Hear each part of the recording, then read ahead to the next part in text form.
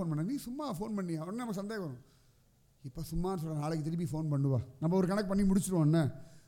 சமயத்தில் அவன் நமக்கு ஒத்தாசை பண்ணுறதுக்காக கூட ஃபோன் பண்ணியிருக்கலாம் ஆனால் புத்தி எப்படி வேணால் யோசிக்கும்.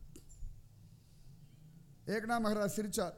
நல்லா தேடுறா அப்படின்னா இந்த பிராமணருக்கு துக்கம் நெஞ்சு அடைக்கிறது. காசிக்கு போயிட்டு வந்த ஆனந்தம் எல்லாம் போச்சு.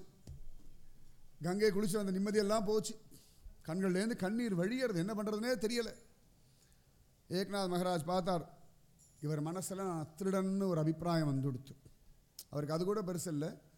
அவர் என்னை நம்பி அவர் பொருளை ஒப்படைச்சிருக்கார். அப்போ அதனுடைய ஜவாப்தாரி நான் ஜவாப்தாரினா பதில் சொல்ல வேண்டிய கடமை என்னுடையது. அடுத்தவாளுடைய பொருள் அதுக்கு தான் ஜாக்கிரதையாக வாங்கிக்கணும். வாங்கினா கரெக்டாக கொடுத்துடணும். அடுத்தவாளுடைய பொருளுக்கு ஆசையே படாதீங்கோ. ஒரு ரூபாய்க்காகலாம் திரும்பியும் இன்னொரு ஜென்மா எடுத்துடாதீங்கோ. ஒரு ரூபாய் தானே? வேண்டவே வேண்டாம்.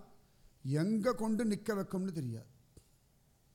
எங்கே கொண்டு நிற்க சமயத்தாரிட ஒரு ரூபா வாங்கியிருப்போம் மறந்து போயிருப்போம். ஒரு ரூபா தானேன்னு. என்னைக்காவது பஸ்ஸில் ஏறும்போது ஒரு ரூபா இல்லைன்னு பஸ் கண்டக்டர் மத்தியானம் வெயில இறக்கி விடுவோம் அப்போ தான் தெரியும். அஞ்சு காசு பத்து காசு இருபது காசு ஐம்பது காசு ஒரு ரூபா வரைக்கும் நிச்சயமாக பாதிக்கும். அடுத்தவாளுடைய பொருளோ பணமோ நகையோ எதுவுமே நமக்கு வேண்டாம். கர்ம வினையே படுத்தின்றிருக்கு. ரொம்ப ரொம்ப ரொம்ப ரொம்ப ஜாக்கிரதையாக இருங்கோ. மகாத்மாக்கள் அதுக்கு தான் நடுங்குவா. யமன் வந்தால் கூட பயப்பட மாட்டா. அடுத்தவாளுடைய சொத்துக்கு ஆசைப்படுறது அடுத்தவாளுடைய தான் நம்ம வச்சுக்கிறது. இந்த ஆசைப்படுறதே அவள் பாவமாக நினைப்பாள் ஏன்னா அது எங்கே கொண்டு நிற்க வைக்கும் தெரியாது. அதுக்காக ஒரு ஜென்மா. யார் வீட்டில் சோஃபா நன்னா இருக்கேன்னு நினைப்போம். இது என்ன தெரியுமா ஆகும்? சே அந்த சோஃபா எப்படி இருக்குது எப்படி இருக்குது எப்படி நினச்சி ஒரு ஜென்மா அந்த வீட்டில் வேலைக்காரலாக பிறந்து சோஃபாவை தொடச்சிட்டு இருப்பேன் தேவையாக அந்த கொடுமை? அந்த வீட்டில் சோஃபாவில் உட்காந்து தொலைச்சாலும் பரவாயில்ல. இந்த மாதிரி நிறைய உண்டு. இதுக்கு மேலே நான் சொல்லணுமா? சோஃபா நன்னா இருக்குன்னு நினச்சி இந்த சோஃபா தடை தடை அப்பா எப்படி இருக்கு? ஆஹா. இதுக்கு ஒரு ஜென்மம் உட்காந்து சோஃபாவை தொடச்சிட்டு அந்த வீட்டில் தேவையா நமக்கு? ஆ? ரொம்ப ரொம்ப ரொம்ப ஜாக்கிரதை. நிறைய உண்டு. சொன்னோம்னா பயந்துருவேன். அவசியமே கிடையாது உங்களுக்கு. சத்தியம் சத்தியம் சத்தியம் சத்தியம் சத்தியம் சத்தியம் சத்தியம் சத்தியம். ஜாக்கிரதை. உங்களுக்கு என்ன இருக்கோ அதில் சந்தோஷமாக வாழும். அடுத்தவாளுடைய பணமோ காசோ நகையோ யார் வீட்டுக்காக கல்யாணத்துக்கு போகணும் அழகாக இருக்கட்டும் இந்த புடவையை வாங்கி கட்டிக்கிறது நகையை வாங்கி கட்டிக்கிறது ஏன் இந்த பொழப்பு? யார் வீட்டில் போய் டிவி பந்தாவா போடும் அப்போ அது போயிடுத்துன்னா அவள் வந்தா டிவி போட்டா போச்சு. என்னத்துக்கு அப்படி ஒரு டிவி சீரியல் பார்க்கணும் அவசியம் இருக்கா? மொபைலை கொண்டா ஏன் பார்க்குறேன்? அது அப்பன் பார்த்து கீழே விழ. அது நாலு பக்கம் இப்படி கோடு போட்டு இப்படி பான்னு முறைக்க. கிராக் விட்டு வாங்கி கொடுக்குற நிலைமையிலையும் நமக்கு வக்கு இல்லை. நம்மளே அதை வாங்க முடியாமல் தானே அதை வச்சு அதை இதை வச்சு ஓட்டிகிட்டு இருக்கோம். அது அவள்கிட்ட வாங்கி அதை வேற கீழே போட்டு ஜாகிரத ஜாகிரத உங்களை என்ன வா உண்டோ அதில் வாழ பழகிக்கோங்க. நம்பவே வேண்டாம். யார் வீட்டாக கல்யாணம் அப்போ தான் மரியாதை இருக்குன்னு எதாவது வாங்கிட்டு போனேன்னா இப்படி போட்டால் தான் மரியாதை ஒரு வீட்டில் கிடைக்கணும் அந்த வீடே வேண்டாம். அந்த பந்துக்கள் வேண்டாம். அவளுடைய சங்கார்த்தமே வேண்டாம். நம்ம பிச்சைக்காரத்தனமாக வந்தாலும் வைகுண்டபதி வெளில திறந்த போகிறது இல்லை. அவர் எப்பொழுதுமே வைகுண்டபதி தான். புரடாசி சனிக்கிழமைக்கு அத்தனை பேர் நிற்கிறா வரிசையில். யார் எவ்வளோ நகை போடுன்றிருக்கான்னு பார்த்தா உள்ளே விடுறார். இல்லையே வைகுண்டபதியை பொறுத்த வரைக்கும் எல்லாம் தன் குழந்தைகள். மலையப்ப சுவாமி. அழகாக கல்யாண உற்சவம்லாம் பண்ணுவாள் ஆயிரக்கணக்கில் கட்டி லட்சக்கணக்கில் எல்லாம் பண்ணுறவாள்லாம் உண்டு. அவள் ஒரு அரை மணி நேரம் மலையப்ப சுவாமி கிட்ட தான் நம்ம ரெண்டு நிமிஷம் நிற்கிறோம் நமக்கும் கிருபா அதே தான் சமயத்தில் தர்ம தரிசனம் போகிறவாளுக்கு தான் ரெண்டாவது தரிசனம் போகிறதுக்கு ஒரு இன்னொரு பாஸ் உண்டு தெரியுமா? இந்த முந்நூறுரூபா ஐம்பது ரூபா அப்படியே பேக் பண்ணி ஓடி போயிடுவா தர்ம தரிசனம் நடந்து வரோம் அப்படின்னா அங்கே ஒரு ஃபோட்டோ எடுத்து இந்த மலை ஏறுறதுக்கு மட்டுமே கிடைக்கிற ஒரு அற்புதமான வரப்பிரசாதம். முந்நூறுரூபா வாங்கின வ- முந்நூறுரூபா கொடுத்தல தரிசனம் ஆயாச்சு. தானிக்கு தீனி சரி போயிந்து. ஜரகண்டி ஜரகண்டி ஜரகண்டி ஜரகண்டி ஜரகண்டி. அங்கே நிற்கிறவா இல்லை. பெருமாளே சொல்கிறார் சரகண்டி சரகண்டி சரகண்டி சரகண்டி. அவ்வளோதான் தர்ம தர்ஷனம் நீ வாடாக்கு வந்த நீ கஷ்டப்பட்டு மலையேறி இருக்க. நீ வா இன்னொரு வாட்டி என்ன பாரு. மலையப்பன் கோடிக்கு அவனுக்கு நம்ம கோடி கொடுத்து அவனுக்கு உலகமே அவனோடது.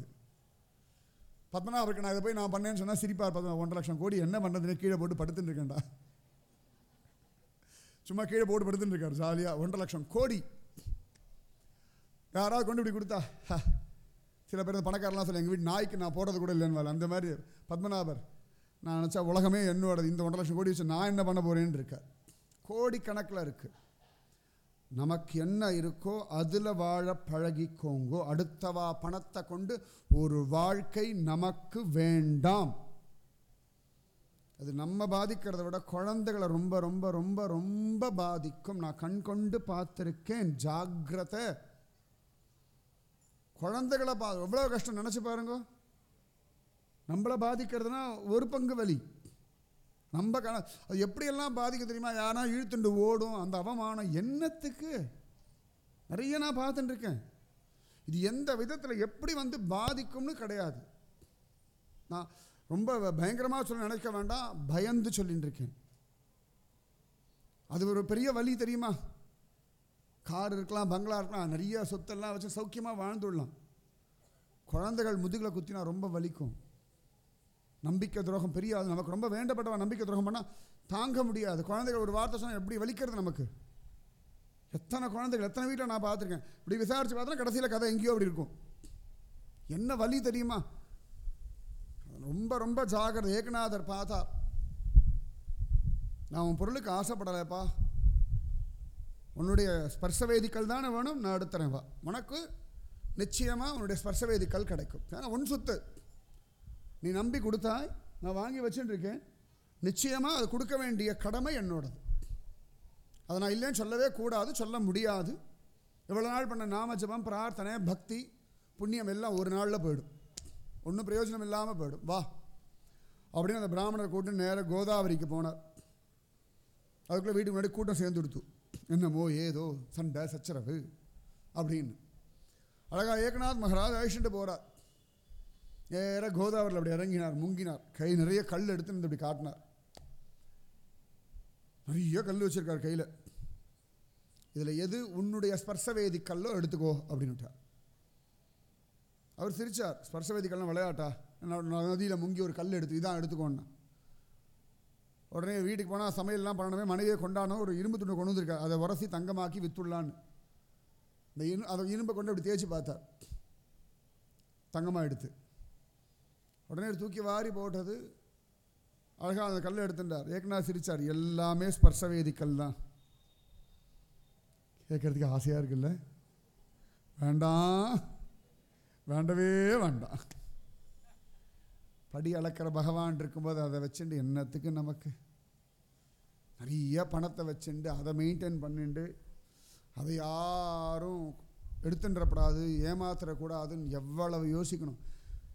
திங்கிறதுக்கு சோறு படுத்துக்கிறது இடம் உடுத்திக்கிறதுக்கு வஸ்திரம் இருக்கா உடம்புல ஆரோக்கியமாக இருக்கோமா குடும்பமாக சிரிச்சுன்னு இருக்கோமா நிம்மதியாக தூங்கின்னு இருக்கோமா உழைக்கிறதுக்கு கை கால் இருக்கா உழைக்கிறதுக்கு கூலி கிடைக்கிறதா போதும். நம்ம குழந்தைகளை படிக்க வச்சோமா அதுங்களுக்கு கல்யாணம் பண்ணி பார்த்தோமா நன்னா இருக்கா கண் கொண்டு போதும். ஏதோ நம்ம சம்பாதியத்தில் என்ன முடியுமோ அது ஏதோ ஒரு வீடு வாங்கினோமா வாழ்ந்தோமா? போதும். வேண்டவே வேண்டாம். வேண்டவே வேண்டாம். என்ன ஞாபகம் யோசனை பண்ணி பார்த்துக்கோங்க யார்கிட்ட அஞ்சு ரூபா பத்து ரூபாலாம் வாங்கி கொடுக்காம இருக்கலாம்னு யோசனை பண்ணிக்கோங்க. ஒன்றுமே தெரியலையா? ஒரு நூறுரூவா நூற்றம்பது ரூபா ஐநூறுரூபா கொண்டு வா. வைகுண்டபதி யாருக்கெல்லாம் நான் கொடுக்கல நீ பைசல் பண்ணிக்கோப்பா. கும்பாபிஷேகத்துக்கு கொடுக்குறேன்னு கொடுத்துருங்கோ. அவர் பைசல் பண்ணிப்பார். வம்பே வேண்டாம். வம்பே வேண்டாம். ரொம்ப ரொம்ப ரொம்ப ரொம்ப ஜாகிர பணம். எந்த விதத்தில் எப்படி படுத்தும்னு தெரியாது. ராமகிருஷ்ண பரமஹம்சர் கையில் பணத்தை தொடமாட்டார் விவேகானந்தர் சும்மா சொல்கிறான்னு சொல்லிட்டு ஒரு நாள் ராமகிருஷ்ண பரமஹம்சருடைய படுக்கையில் கீழே பணத்தை ஒழிச்சு வச்சுட்டார். ராமகிருஷ்ண பரமஹம்சர் வந்தார் படுத்தார் அலரடிச்சுன்னு எழுந்தார். சிஷ்யாவில் என்ன ஆச்சுன்னா பணப்பேய் கீழே இருக்குன்னுட்டார். யாருக்கும் ஒன்றும் புரியல. பணப்பே அதில் புதுசாக இருக்கேன்னார் படிக்க தூக்குனார். தூக்கினா கீழே ஒரு காயின் இருக்கு. ஒத்த ரூபா காயின் நம்ம விவேகானந்தர் இவர் நிஜமாவே பரமஹம்சரான் பரீட்சை பண்ணுறதுக்காக ஆனால் சன்னியாசிகளுக்கு ஒரு நியமங்கள் உண்டு. சம்சாரிகள் பணம் சம்பாதிக்கணும் சேமிக்கணும். ஆனால் நியாயமான முறை தர்மமான முறை அடுத்தவர்களை ஏமாத்தாத முறை. இங்கே கடன் வாங்குறது அவா கிட்ட கடன் வாங்கி இவா கிட்ட கொடுக்குறது இவா கிட்ட கடன் வாங்கி அவா கிட்ட கொடுக்குறது. இது புத்திசாலித்தனமே கிடையாது. இந்த தவறுகள் நிறைய பேர் பண்ணிட்டுருக்கள். தயவு செஞ்சு மாற்றின்னு அதுக்குள்ளே உயிர் போயிடுத்துனா இந்த கடனுக்கு எத்தனை கோடி ஜென்மா தெரியுமா சுத்தணும் அப்புறம் அந்த குழந்தைகள் எவ்வளோ பாதிக்கும் தெரியுமா? நிறைய நான் பார்த்துட்டுருக்கேன் ஏக்நாத் மகராஜ் அழகாக எல்லாமே ஸ்பர்ஷ வேதிக்கள்னால் இவர் கல்லை கொடுத்தா மற்றெல்லாம் அப்படி தூக்கி போட்டார். ஜனங்கள்லாம் ஆள் ஆளுக்கு பாஞ்சா. அதே கல் கிடச்சிது. ஆனால் கூழாங்கல்.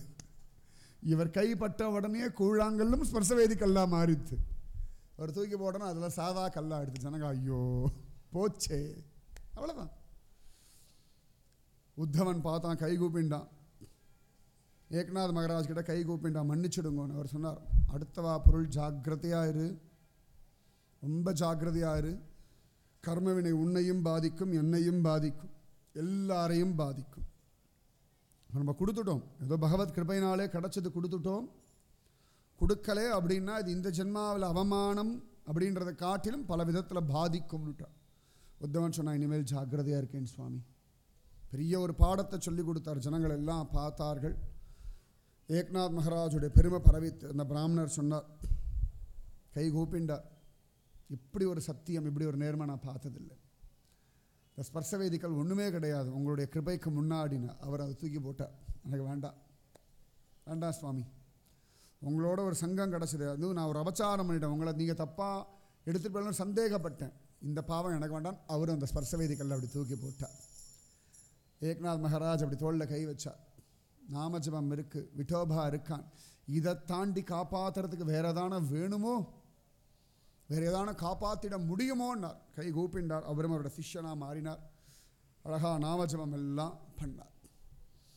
அழகா ஏக்நாத் மகராஜ் ஜோரா அப்படி எல்லாம் பக்தி பண்ணிட்டு இருக்கா நிறைய அதிசயங்கள் நடக்கிற ஒரு வாழ்க்கையில். ஒரு சந்தர்ப்பத்தில் ஒரு கோதாவரி நதி தீரத்துக்கு போகிறார் குளிச்சுட்டு அப்படி வரார்.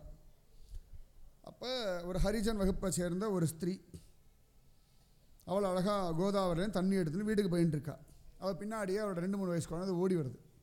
நல்ல வெயில் வேறு. அவள் குழந்தை தான் பின்னாடி வரதேன்னு சொல்லி தலையில் இடுப்புலலாம் தண்ணி வச்சுருக்கா கடகடன் வேகமாக நடக்க ஆரம்பிச்சா. சின்ன குழந்தை தானே. மத்தியான வெயில் வேறு. ஒரு சிதியில் அது குழந்தை கீழே விழுந்துடுத்து. இந்த ஆத்தங்கரை மணலில் விழுந்துடுத்து. அவள் கவனிக்கல அவள் பாட்டுக்கு போயிட்டா. அது எப்பயும் கூட வரும் ஓடி வரும். அது பாட்டுக்கு கீழே விழுந்துடுத்து. கீழே வந்தது ஏற்கனவே உடம்பு வேறு அதுக்கு ரொம்ப வெயிலில் வேறு வாடி வதங்கி போயிடுது. சின்ன குழந்தை தானே. அப்படியே வாயிலேருந்து நுரையெல்லாம் தள்ள ஆரம்பிச்சு கொடுத்து அவள் பாட்டுக்கு போயின்னு இருக்கு அவளுக்கு தெரியலை. ஏக்நாத் மகராஜ் கரெக்டாக பின்னாடியே வரார் விட்டல் நாமத்தை சொல்லிட்டு அந்தார் குழந்தைய வாரி எடுத்துன ஹரிஜன குழந்தை. அது அழகாக வாரி எடுத்துட்டார் தன்னுடைய துண்டினால் தடவியெல்லாம் கொடுத்தார் தலையை தடவி கொடுத்தார் தோளில் போண்டார் இப்படி தட்டினார். அவர் ஆஸ்வாசப்படுத்தினார் உயிர் போக வேண்டியது. ஆனால் இவர் கண் பட்டதுனாலே தப்பிச்சது. அவர் தோல் வேலை போன ஒன்றும் இல்லை ஒன்றும் இல்லை விட்டோபா இருக்கான் கவலைப்படாது அப்படின்னு தடவி கொடுத்தோடனே இந்த காலன் பக்கத்தில் வந்தவன் ஓடி போயிட்டான். மகாத்மாக்களுடைய பலம் அப்படி. மகாத்மாக்களுடைய பலம். ஜோரா தோளில் அப்படி போட்டுண்டு. அண்ணா அப்படி தடவி கொடுத்தான். அவர் கொடுத்த உடனேயே காலன் ஓடி போயிட்டான். யமதர்மராஜன் பக்கத்தில் வரலை. இவ பாட்டுக்கு வீட்டுக்குள்ளே போயிட்டார் ஏக்நாத் மகராஜ் பின்னாடியே வர அவர் ரொம்ப வேகமாக போயாச்சு. இவர் அதை சேரிக்குள்ளே நுழைஞ்சுட்டார் ஏக்நாத் மகராஜ். கொஞ்ச நேரத்தில் அதுக்கு சமாதானம் வந்துடும் உயிர் போக வேண்டியது உயிர் பழச்சுடுத்து. அது உடனே தன் வீட்டை காட்டித்து அதுதான் அப்படின்னு கொடுத்து. உடனே ஏக்நாத் மகராஜ் வந்தார். அந்த அம்மா அப்போ தான் வெளில வரா குழந்தைய காணலையே அப்படின்னு. பார்த்தா இவர் தூக்கிட்டு வரார். அது கை காமிச்சு இறக்கி விட்டா கிடுக்குன்னு அம்மா கிட்ட ஓடித்து. உடனே ஏக்நாத் மகராஜ் சொன்னார் ஜாகிரதம்மா விளையாட்டா குழந்தை கிடைக்கிறது. தெய்வம் ஒன்றை நம்பி இந்த பொறுப்பை படைச்சிருக்கு. ரொம்ப அழகாக சொல்கிறார் அவர்கிட்ட. தெய்வம் உன் மேலே நம்பிக்கை வச்சு இந்த குழந்தை பாதுகாத்து பகவான் இஷ்டப்படி வளர்க்குறதுக்காக உனக்கு ஒரு வாய்ப்பை கொடுத்துருக்கு. கவனம் இருக்கணும். குழந்தைகளை வளர்க்குறதுல அவ்வளோ கவனம் வேணுமா? தெய்வம் உனக்கு கொடுத்துருக்க ஒரு வரப்பிரசாதம். அதை வீணடிக்கப்படாது. ஒரு லட்டை கொண்டு தெருவில் போடுவோமா? பத்து ரூபா தூக்கி போட்டுருவோம். நிச்சயமாக தூக்கி போட மாட்டேன். இப்போ பத்து ரூபாவோட ஒன்றும் கேவலம் இல்லையே குழந்தைகள். நகமும் சதையும் உயிருள்ள ஜீவனாச்சு. உடனே கை கூப்பி நான் மன்னிச்சுடுங்க மகராஜ் இனிமேல் ஒழுங்காக இருக்கேன்.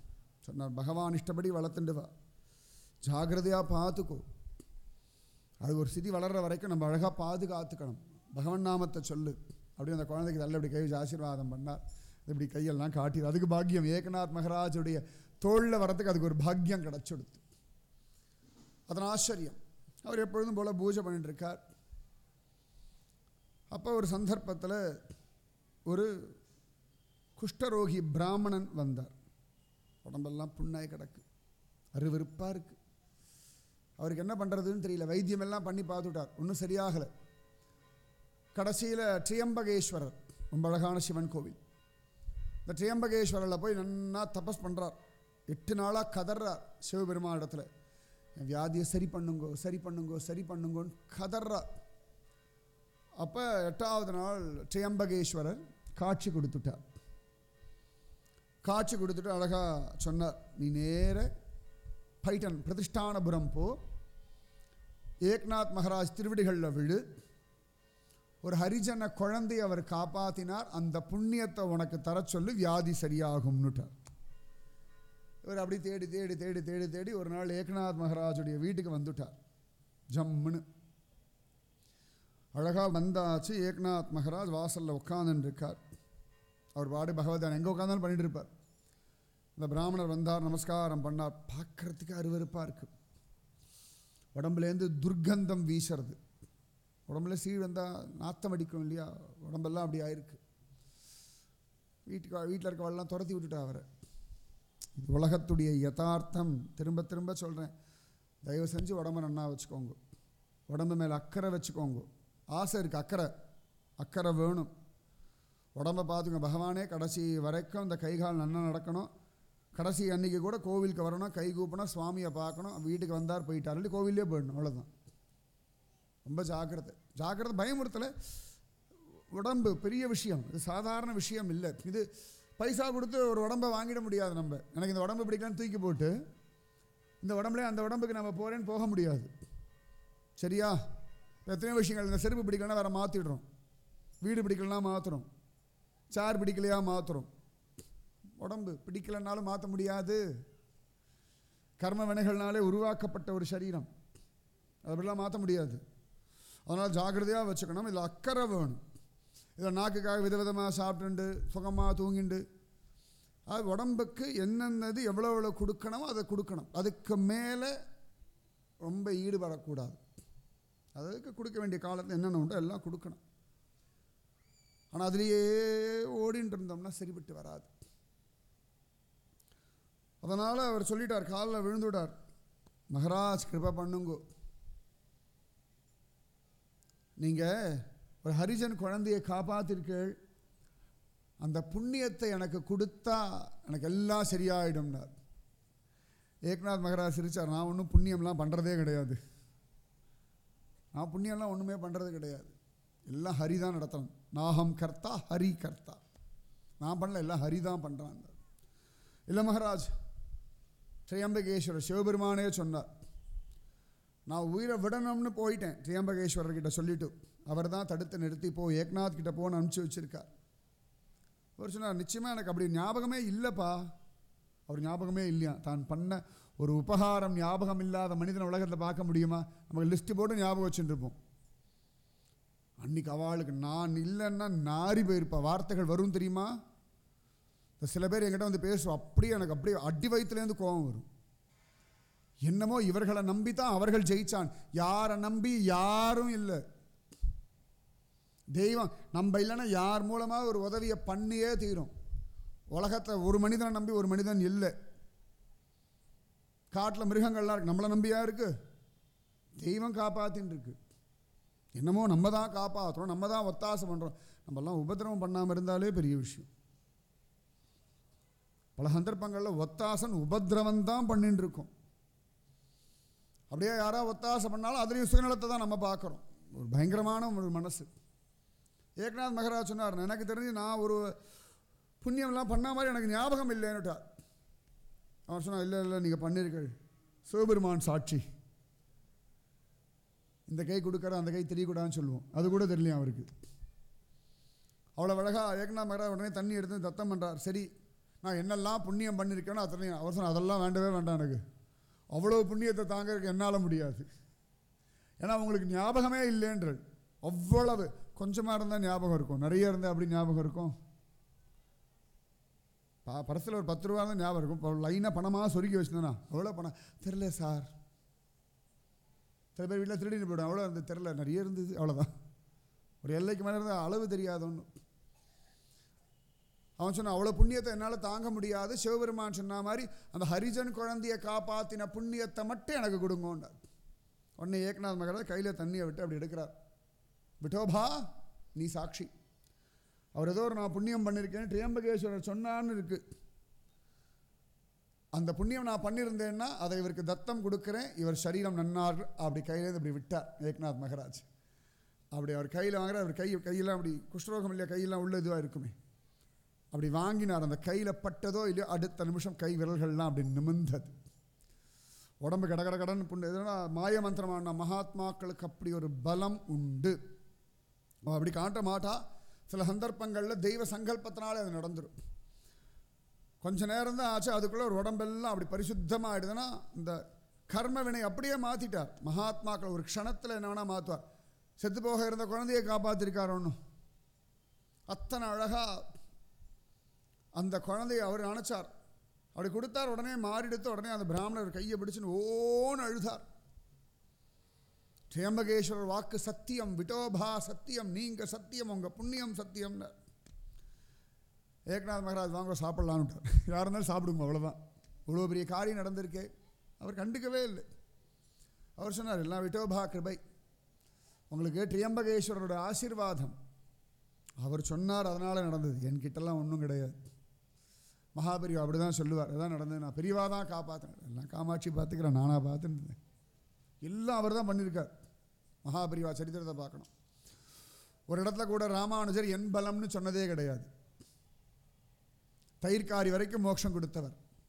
எல்லாருக்கும் கண்கூட வைகுந்தத்தை காட்டி கொடுத்த ஒருத்தர். ஆனால் ஒரு இடத்துல கூட நான் தான் வைகுந்தத்தை காட்டி கொடுத்தேன் உனக்கு. ஒரு இடத்துல கூட ராமானுஜர் பேசவே இல்லை. அதனால தான் திருவரங்க தமுதனார் முதல்ல ராமானுஜருடைய பெருமையாக எழுதுகிறார் எழுதி கொண்டு வந்து கொடுக்குறார். ராமானுஜர் அப்படியே கிழிச்சடி குப்பையில் போட்டார். சே என்ன எழுதியிருக்காய்?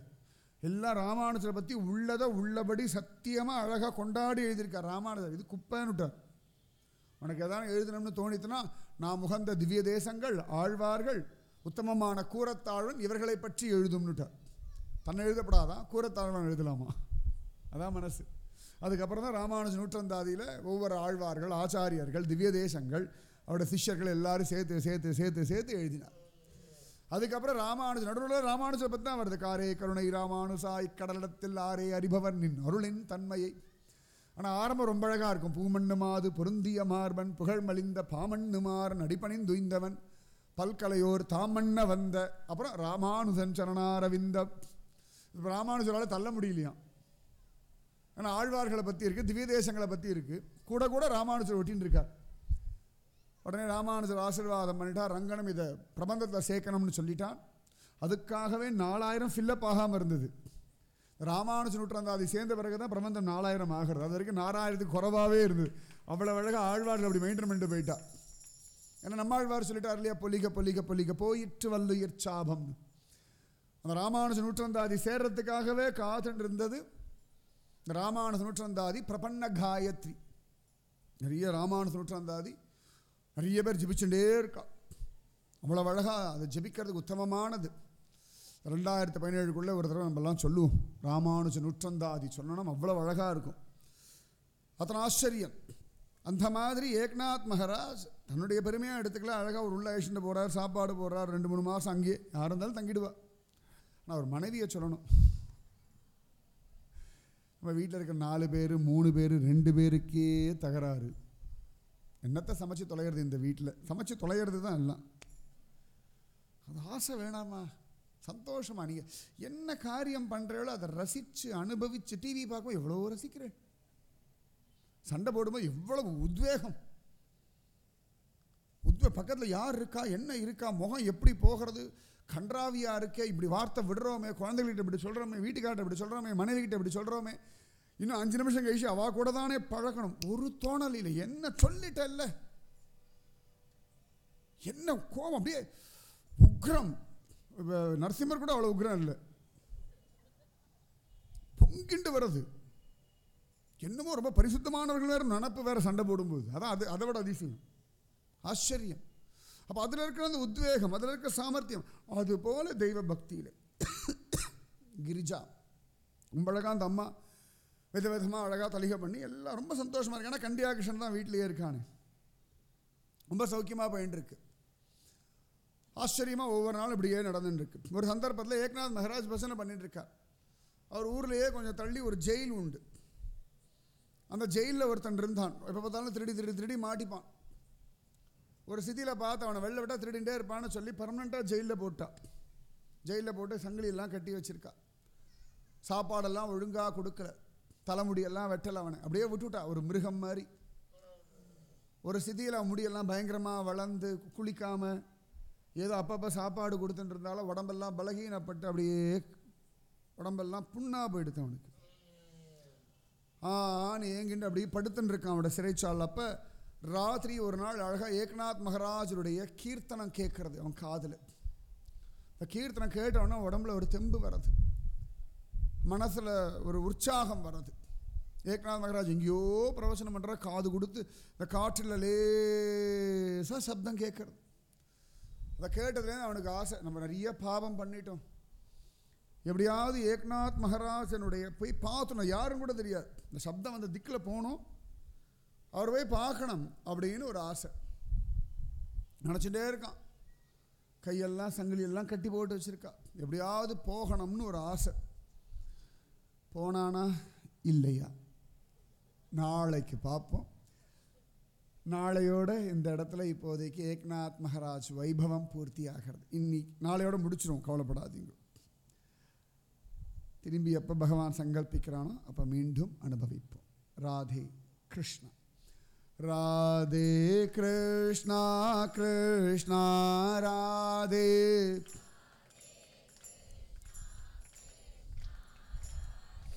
Radhe Krishna Krishna Radhe Radhe Krishna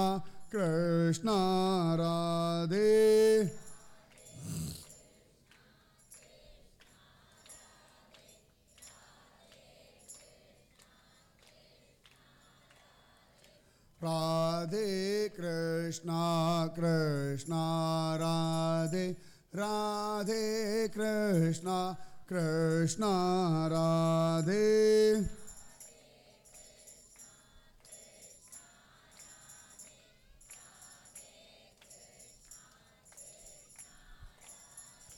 Radhe Krishna Krishna Radhe